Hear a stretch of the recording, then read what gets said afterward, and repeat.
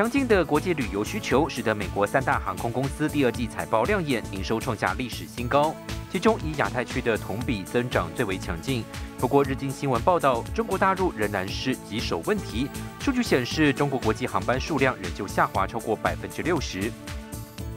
美国两党议员致函给美国运输部长布塔朱及及商务部长雷蒙多，信中要求华府调查中国自动驾驶技术在美国的流通情况。文中提到，自动驾驶、镜头、光学雷达、人工技术以及其他先进感测器和半导体的技术，都可以用来收集美国民众和基础设施的资料，并回传中共。布塔朱及二十号表示，中国自动驾驶汽车就像中国抖音海外版 TikTok 一样，有国安上的疑虑。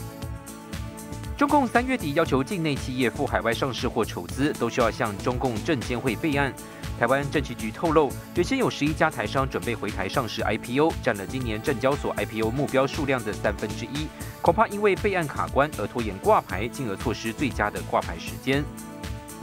印度政府宣布停止非印度香米之外的白米出口，理由是天气影响印度农作物收成。外媒路透报道，印度占全球白米出口量的百分之四十以上，超过泰国、越南、巴基斯坦和美国的总和。出口对象多达一百四十余个国家，禁令可能恶化全球粮食安全问题。新唐人亚太电视整理报道。